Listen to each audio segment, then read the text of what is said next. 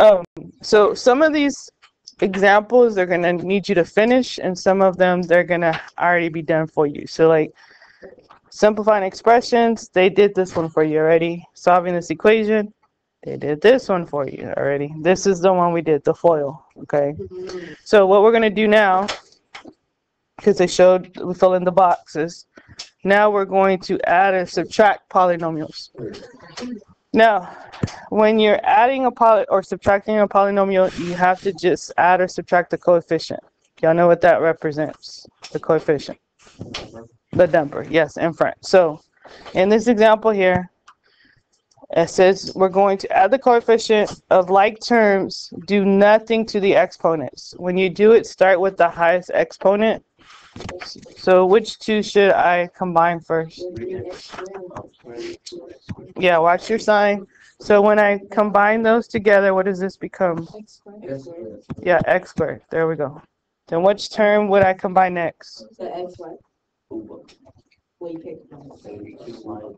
Yeah, the negative 2y and the negative 6y. Negative eight Y Yeah, so minus 8y. plus plus eight Y.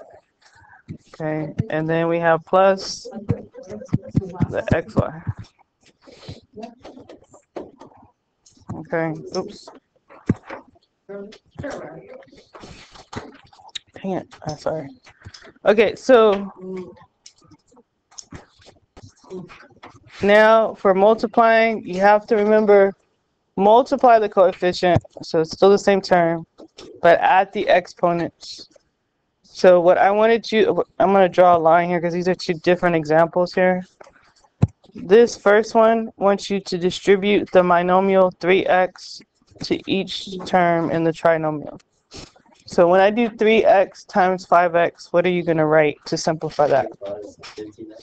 You're close. Closer. It's 15x cubed. It says right here, add the exponent, guys. So you might need to memorize that. All right, then go to the next term, Negative six X squared. negative and then the last term, minus 12x. Okay, so box that, that's our answer here. All right, now, they want the area of the square with the length 2x minus 3 and a width of x minus 4. So, you might need to draw a square to help you visualize this. Your length was the 2x minus 3.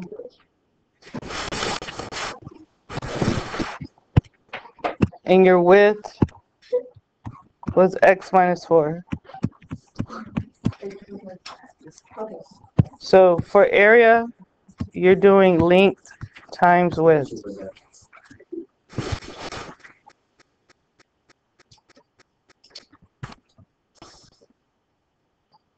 So we're going to substitute this 2x minus 3 for our length. And this x minus 4 for the width. So how would we do the area? Foil, yes. Okay, so first, we gotta stop. All right, go ahead. I'm gonna let you finish this one. We did a foil together. You finish this one.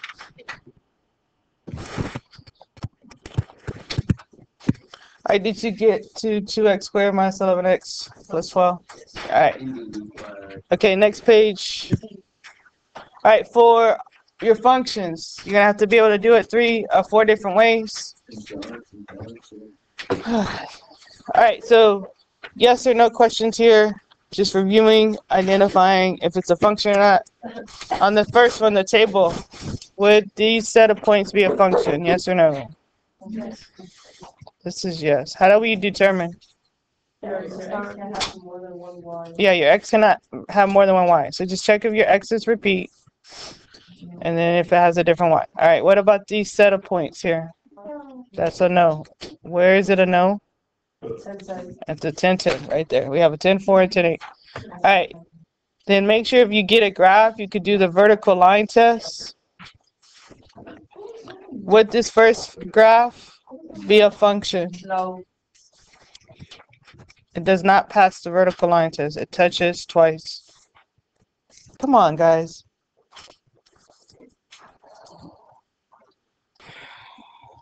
What about this next? I don't know if you can see it, but the actual line is horizontal. Yep, this is yes. All right, verbally, if I have number of floors, they're talking about like the like the levels, like different stories, like first story, second story. So if you have the the number of floors in a hotel versus the height of the hotel. Yeah. Each student in your school versus their age. No. Yeah. All right, now with an equation, symbolic is just saying, can you do it from an equation or a mapping? Would this equation be a function? This is no. Why? no. Yeah, it's a vertical line.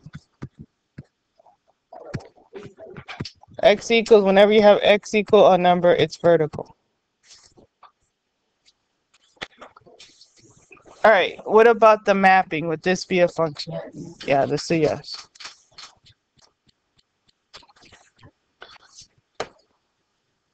All right, so then we're just gonna go into function notation. Okay, just some more notes here. They're just trying to remind you you can't repeat x values and vertical line tests on graphs. Uh, I would underline this because make sure you know f of x is the same as y or your output. So if I have y equals 3x, it's the same thing saying f of x equals 3x minus 8. And then to solve. So what I did was in function function notation, the x is inside the parentheses. So if I see a number inside the parentheses, that represents your x. And so this is what it says to do. Plug in the negative 2 for x and then solve. So they're just showing you the work here to how they solved it. Okay, so understand f of x. Oh, sorry, I did that backwards. If I have a x comma f of x like that, that's the same thing as x comma y. Okay, so they're giving you a point here. So we're gonna do finding the value. So we have to plug it in. I would maybe add this little note right here, plug in the value for um, for your x and solve.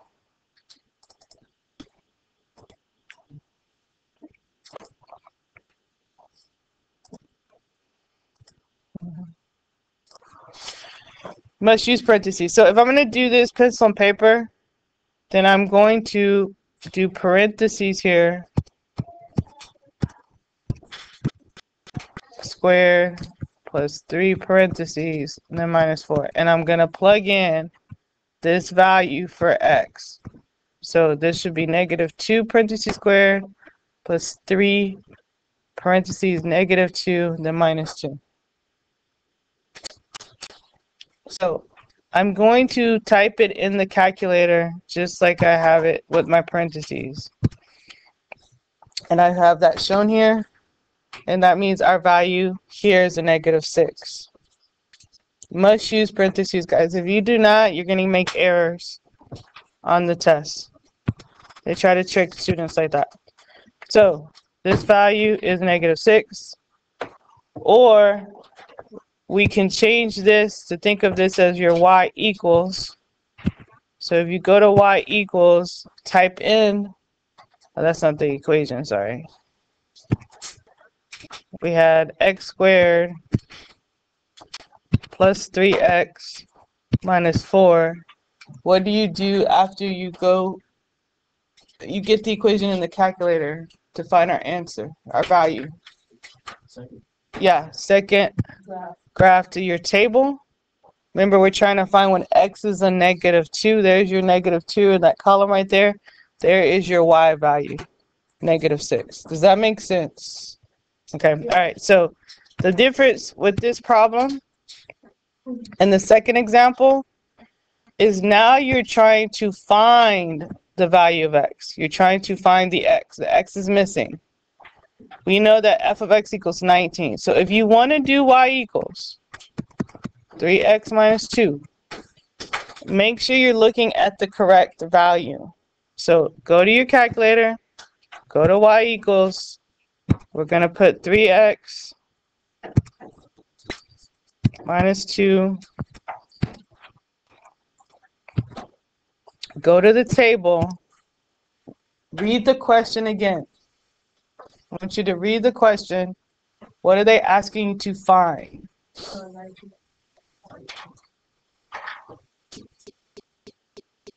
So what is our answer?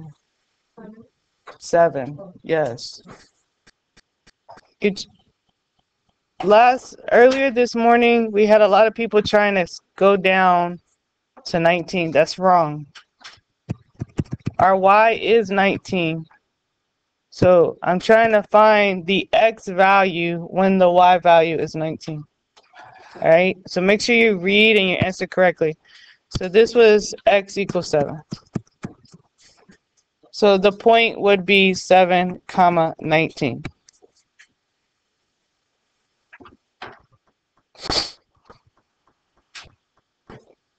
All right, so your law of exponents, this is on the formula chart. You just got to make sure we understand. So these are just examples to help you remember what to do, okay? And this is how it would be on STAAR. So you would first need to simplify your numbers. What does 5 over 10 reduce to? Yeah, so that would become 1 half. Then you're going to go to your x values. I have x to the third and an x. What exponent is on the bottom? So this is saying x to the third minus 1. When I'm dividing, I subtract. Then I go to the next variable, which is a y. And I don't have a y down here, so I'm just going to say y. Oh, I wrote that wrong. I just realized. The exponent is not a neg a 1. It's a 2. I didn't see that right there. So it's x to the third minus the negative 2.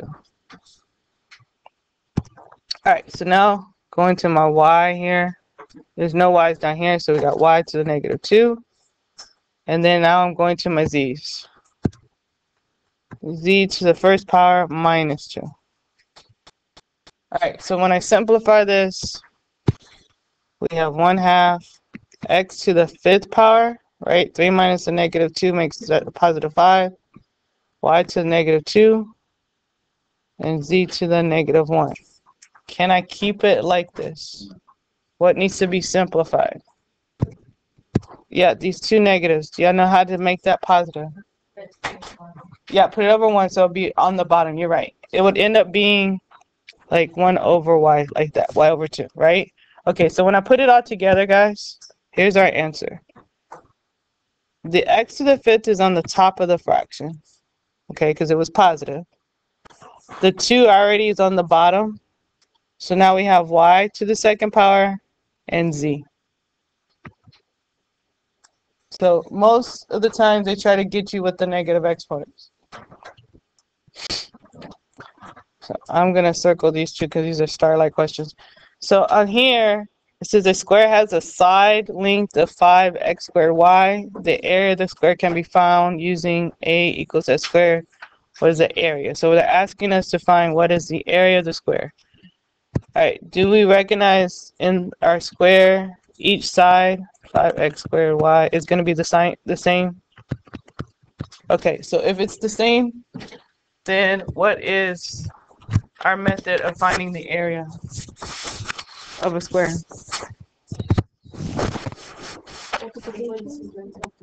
Yeah, you're gonna do the same thing as length times width. So substitute your length. What could be our length? The 5x squared y times the 5x squared y. So now you have to simplify this. What's gonna be the answer? No, not two. Because that would be perimeter. What's the area five, X, four, Y. It'd be 25 Yeah, twenty. X to the fourth, yes, y to.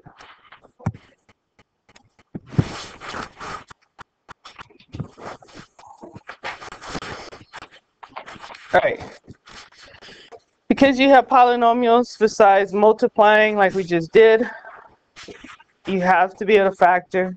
All right, so on example one, do y'all remember I've given you a clue using X puzzle. So how do we set this up? Yeah, make your X puzzle, negative 10 on top, negative 3 on the bottom. All right. Now, what do you need? You need a negative 5 and a positive 2. So, because we were giving the factors, we have to write it in factor form, which is just now using our parentheses x minus 5 and x plus 2.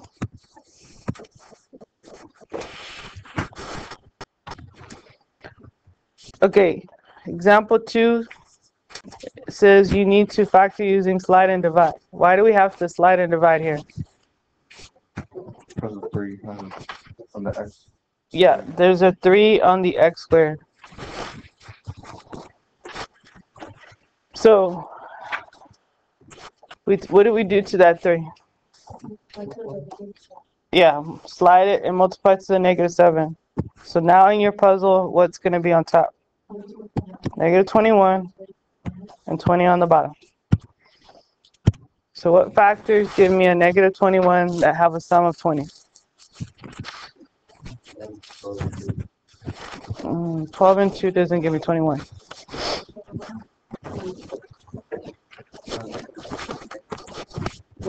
Negative twenty.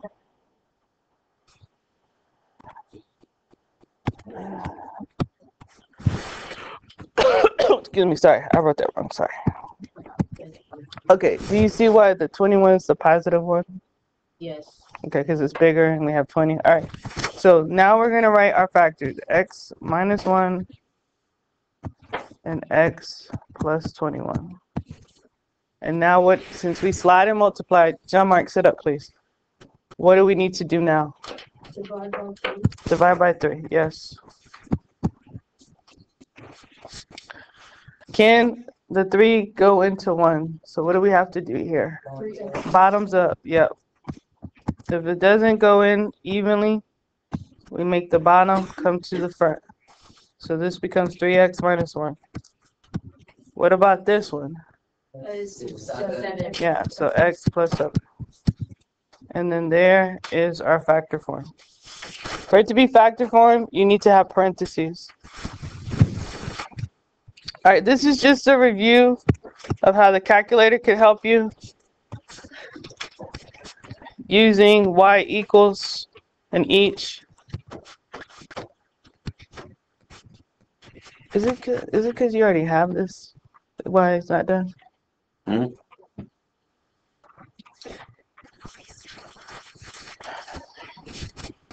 All right.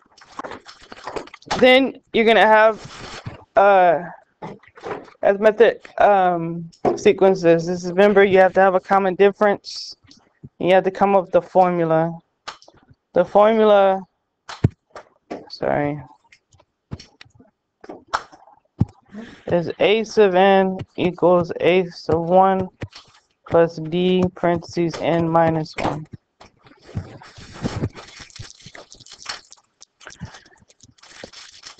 Put that away. What are we gonna have to do to find the formula for this sequence?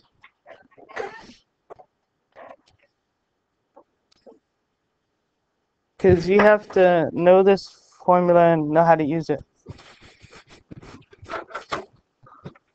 What's our, what do we need?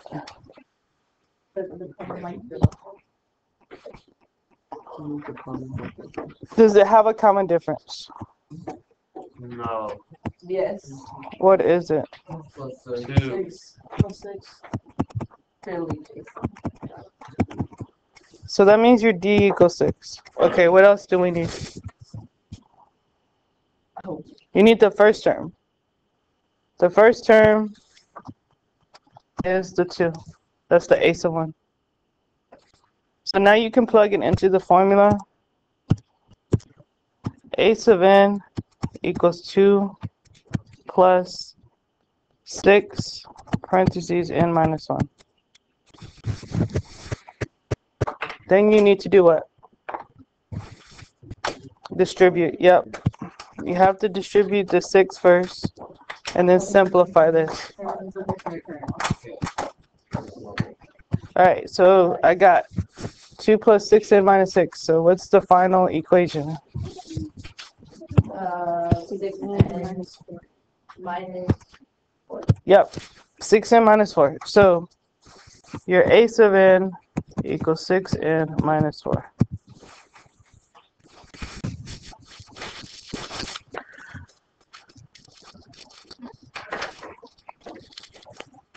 All right, they want us to find the next three terms knowing that the first term is three. And looks like we're gonna take that first term and add two to e- each time. So it would be three, then five, then seven. Does that make sense?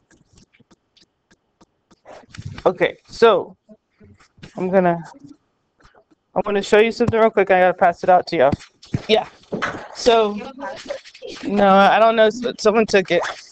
So either you're finishing this last one or you're doing the next one.